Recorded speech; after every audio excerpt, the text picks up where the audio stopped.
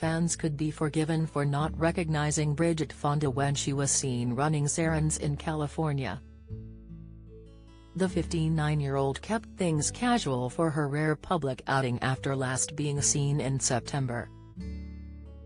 The 90s actress, who left acting behind in 2002, teamed a loose-fitting grey top with a stripe number underneath. With her silver hair tied back and sporting dark-rimmed glasses, Bridget added baggy black trousers and trainers to her ensemble.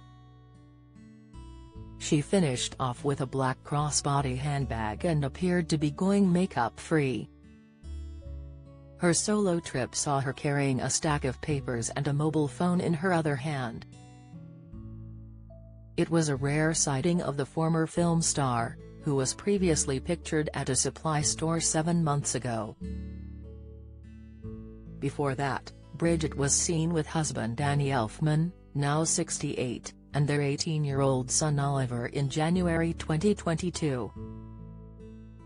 That marked the first pictures of her for a staggering 12 years.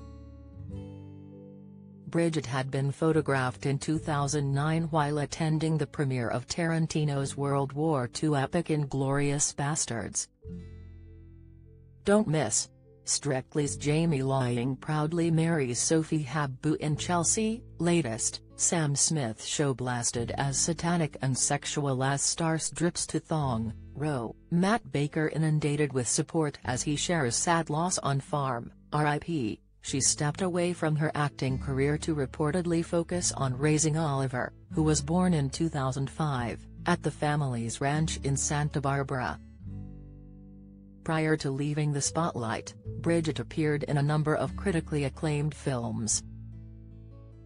She is best remembered for starring in the 1997 thriller Single White Female. Bridget is a part of the famous Fonda acting dynasty. Her grandfather is the late Oscar-winning screen legend Henry Fonda, her father is Easy Rider star Peter Fonda, and her aunt is actress and fitness guru Jane Fonda, 84. Her dad, who also worked as a director and screenwriter, died in 2019.